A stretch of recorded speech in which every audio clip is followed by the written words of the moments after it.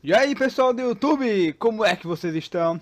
Aqui é o Master House, estamos de volta com mais dicas de Dark Souls 2 Galera, neste episódio nós vamos entrar na segunda DLC do jogo A Coroa do Antigo Rei de Ferro.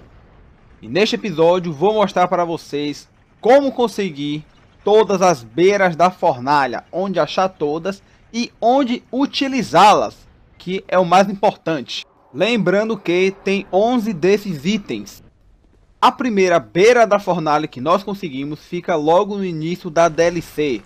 Nós pegamos 6. E também logo no início nós já podemos utilizar um. Esses itens só podem ser utilizados nessas criaturas que ficam pegando fogo. Normalmente eles soltam ou magias, como vocês estão vendo. Alguns revivem monstros e os deixam mais resistentes. E outros ficam curando as criaturas. Cada um tem seu tipo, mas só dá para destruí-los utilizando o item beira da fornalha. E todos eles vão dropar a mesma coisa, um pedaço da alma de Nadalia. O nosso segundo, vocês vão seguir o caminho do vídeo. Lembrando que, galera, tem muito dessas criaturas que nós temos que destruir. Então vocês vão ficar mais prestando atenção no vídeo. Eu só vou dar algumas dicas dos locais. E toda vez que eu falar estátua, vou estar me referindo a essas criaturas de fogo. Esse que estamos destruindo fortalece os inimigos. Como vocês podem ver, ele estava com uma pele um pouco diferente. Ou seja, ele estava com a defesa maior. Mas no momento que a gente destrói a estátua, ele volta ao normal. O terceiro fica numa área com muitos bichos. Eu aconselho primeiro matar todos os bichos e só depois descer para destruir a estátua. Lembrando que essa estátua é a que solta magia. Então, se você fosse tentar destruí-la, ela iria soltar magia e os bichos iriam ficar lhe atacando, que daria muito trabalho. Lembrando que sempre eles vão dropar uma alma da Nadália. Nós precisamos de 12 para um objetivo na frente.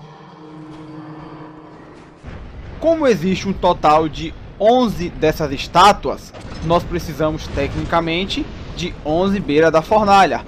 Porém, só conseguimos 6 no começo da DLC, faltando ainda 5. Nesse local que vocês estão vendo, nós vamos conseguir mais.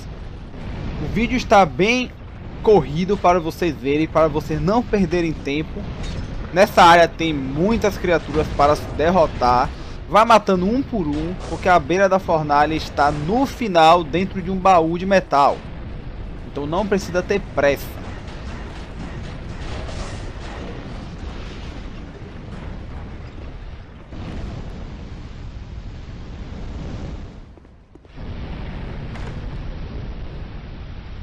Como foi dito, dentro do baú nós vamos conseguir mais quatro beiras da fornalha. Seguindo o caminho do vídeo, nós vamos para a próxima estátua. Essa já é uma estátua que cura. Vocês estão vendo a áurea que ela está emanando. Se qualquer inimigo estiver perto dela, não importa o dano que a gente der, ela vai ficar curando o inimigo. Eu aconselho matar esse bicho de duas maneiras. Ou atrair ele para fora, para a cura não poder acertá-lo. Ou você vai correndo e desativa logo a estátua, usando a beira da fornalha para ela não curar mais o inimigo e só assim você depois matá-lo.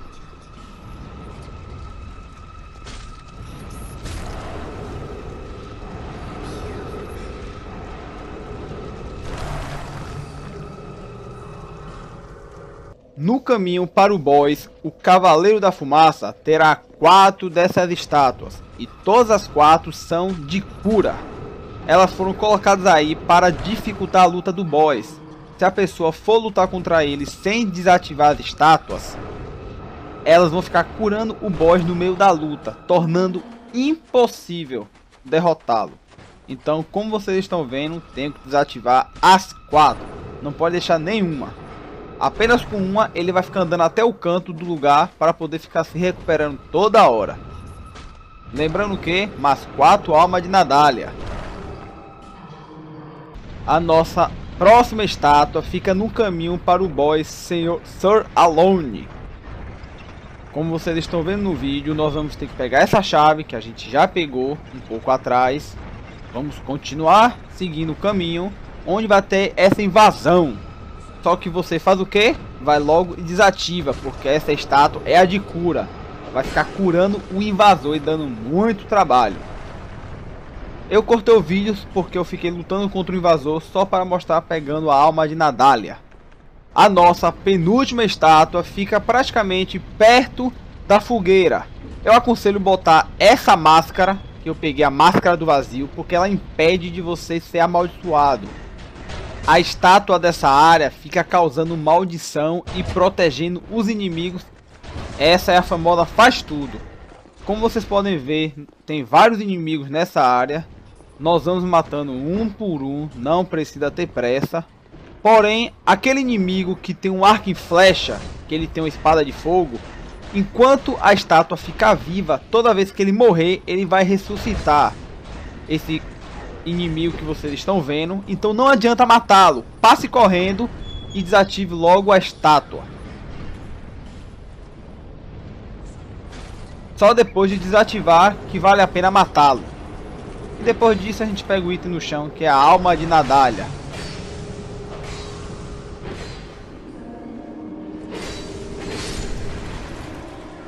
Pegando assim mais uma alma de Nadalha. Após derrotar o boss Sir Alone, nós vamos conseguir uma beira da fornalha, que é a última. Ou seja, para completar isso, temos que derrotá-lo. Matando o Cavaleiro da Fumaça, ele vai nos dar sua alma e um fragmento da alma de Nadalha, o penúltimo. E a última estátua para desativar, e a mais difícil, mais complicada, fica nessa área isolada do mapa vai ter também um invasor, que a gente vai lutar um pouco ele, ele vai descer. A área embaixo é igual à anterior, ela causa maldição, fortalece os inimigos e todos aqueles arqueiros ficam revivendo. O que eu aconselho, você vai matando os que dá para matar, esses que não renascem, e quando estiver chegando bem perto da estátua, corre, só corre, como se não tivesse amanhã e desativa. Normalmente você vai morrer porque vai ter vários desses arqueiros vivos, porque eles ficam renascendo, e vai ter ainda um invasor. O invasor fica literalmente parado na porta da estátua, só para lhe atrapalhar. Então você desativa, depois você volta aqui com a estátua já desativada e mata todo mundo com calma para pegar a alma de Nadalha, pegando assim o último fragmento da sua alma. Como vocês podem ver, o NPC fica na porta. Eu faço o que? Passo correndo. Desativo. Usando a beira da fornalha. E quando eu sair daí, praticamente é muito difícil sair vivo. Já tá todo mundo me atacando já, como vocês estão vendo. Depois eu volto com mais calma. Depois que matar todo mundo, para recuperar minha alma e pegar a última alma de Nadalha. Completando assim 12 fragmentos. Vocês viram que eu ganhei mais um item, que é a alma completa. E vai aparecer, Nadalha não existe mais, verdadeira alma de Nadalha adquirida. Galera, com essa alma nós podemos trocar por uma magia, uma magia de fogo muito poderosa. Porém, essa magia eu vou mostrar em outro vídeo, porque não foi o objetivo desse. O objetivo desse vídeo foi para mostrar onde pegar todas as beiras da fornalha e onde utilizá-las, para vocês não terem dor de cabeça e consequentemente pegar também as almas de Nadalha. Mas pessoal, espero que tenham gostado desse episódio. Se gostou já sabe, deixa o like, não esquece de deixar. E se inscreve também no canal galera, que ajuda bastante. Muito obrigado por tudo, um beijo, um abraço e até a próxima. Tchau, tchau!